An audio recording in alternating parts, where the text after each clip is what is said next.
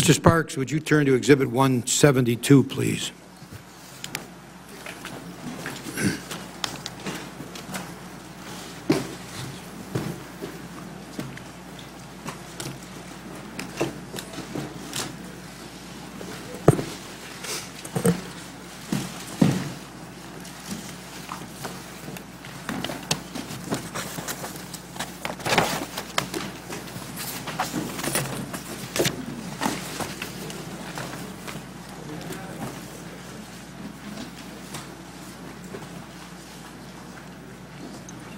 All set? Yes, Mr. Now, this is a series of emails that concerns a deal called Anderson that Goldman put together in March of 2007. Anderson was a $300 million synthetic CDO, and so what it did was reference certain other securities. This referenced subprime RMBSs, or residential mortgage-backed securities. Many of those securities were originated by New Century, which was a subprime lender notorious for poor quality loans. Goldman participated as one of the short investors. As you can see from that exhibit, they bought loss protection or bought the short side for $100 million, about 50 percent of the short side and 50 percent of the referenced assets. So from the beginning of the deal, right from the beginning, Goldman is selling Anderson securities to clients, but it's betting against that CDO. It got, in the words there, protection that pays off if the CDO assets, the referenced assets, start losing money. So, first, if you'll take a look at the, the following email, Goldman's clients reject the deal, first of all because it has so much poor quality New Century mortgages. For example, look at the third page of the exhibit. A client asks how Goldman got, quote, comfortable with all the New Century collateral, in particularly the New Century service deals.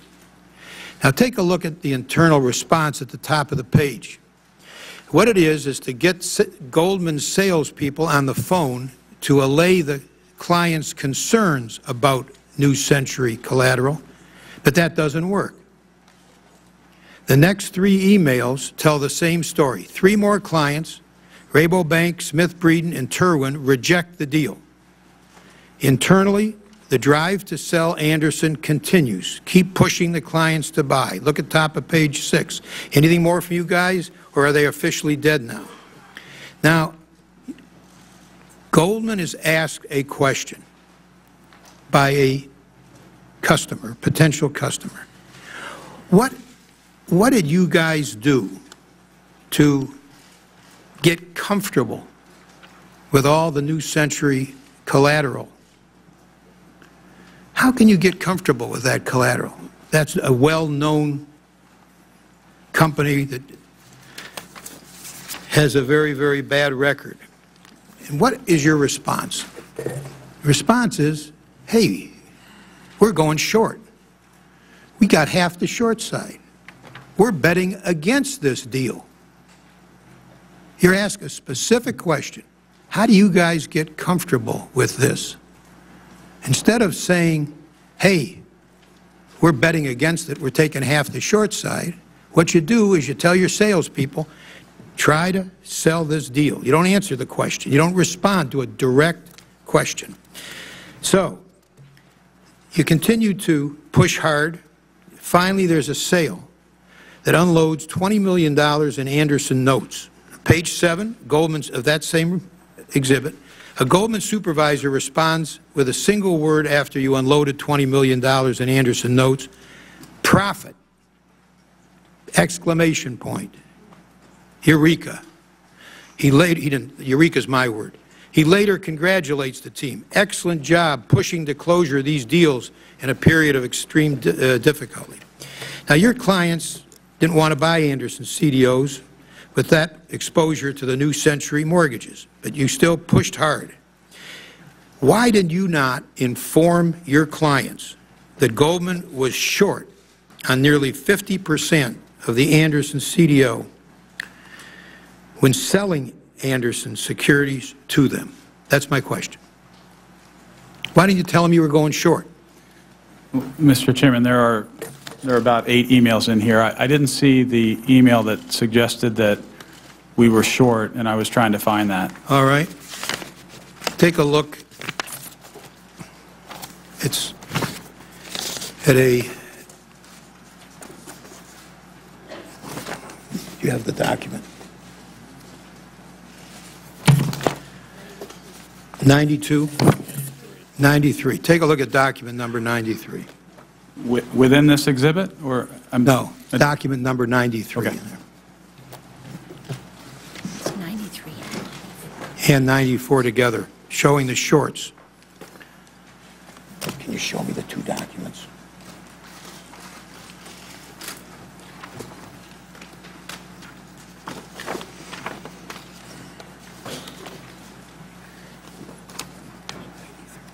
Point point out what was going. Counterparty, is that it?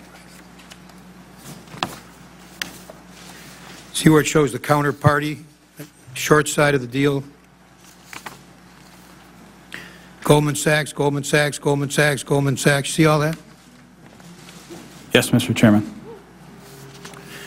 Okay, now answer my question. I- I I believe this shows the counterparties, Yeah. which It's Goldman oftentimes Sachs. was Goldman Sachs. That doesn't mean that Goldman Sachs wasn't doing that trade with another client.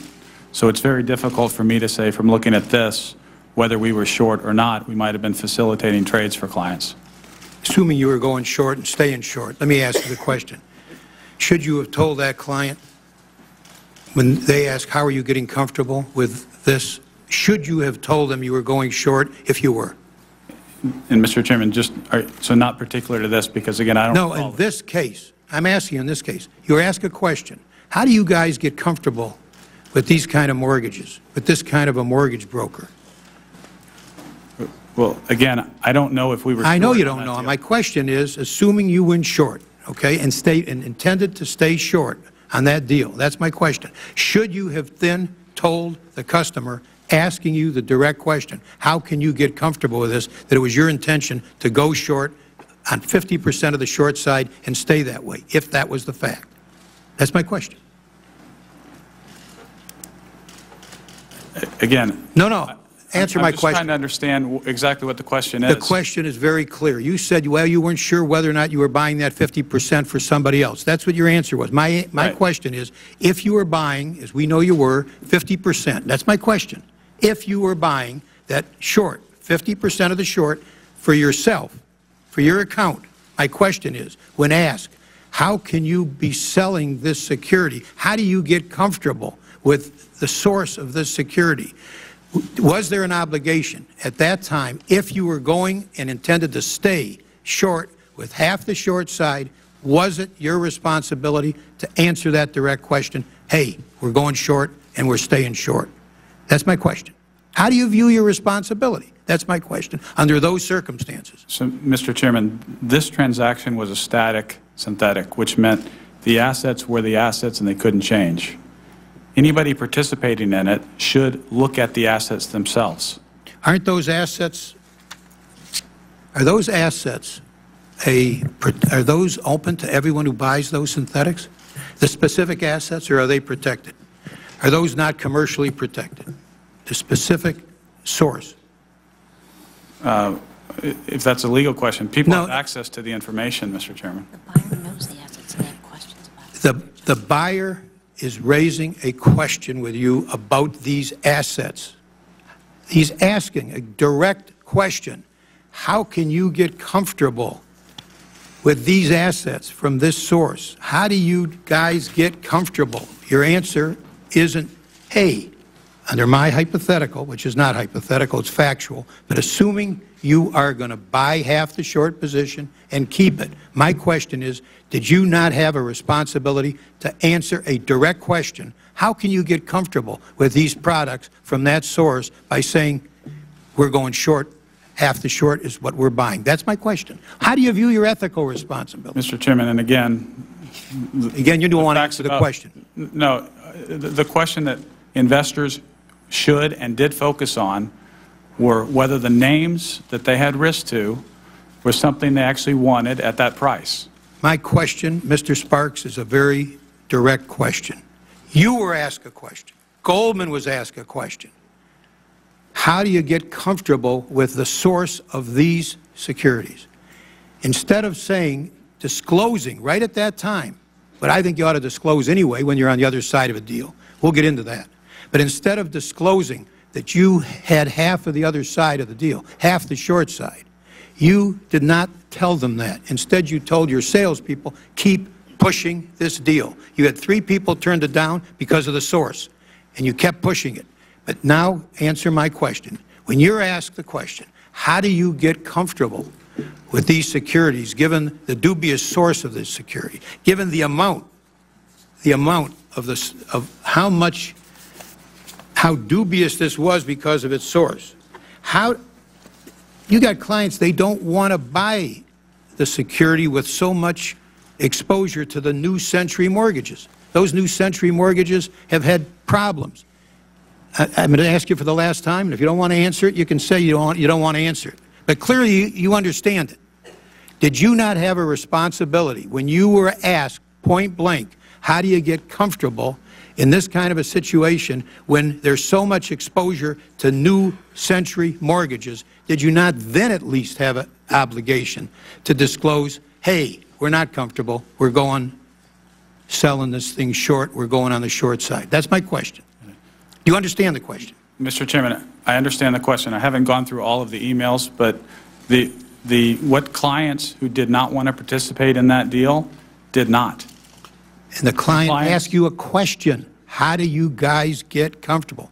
It's a question. So- What was your answer? Mr. Chairman, we... Did you tell them? We would have had the sales force get on with the deal team and walk through each security that they had exposure to and answer any questions that they had about that security. Don't you also have a duty to disclose an adverse interest to your client?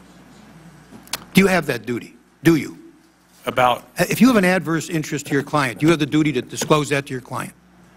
Uh, i- the question about how the firm is positioned or our desk is positioned, I'm If you have an adverse interest to your client when you're selling something to them, do you have the, do you have the, op- the responsibility to tell that client of your adverse interest? That's my question. Sure, Mr. Chairman, I'm just trying to understand. No, I think you understand it. I don't interest think you want to answer.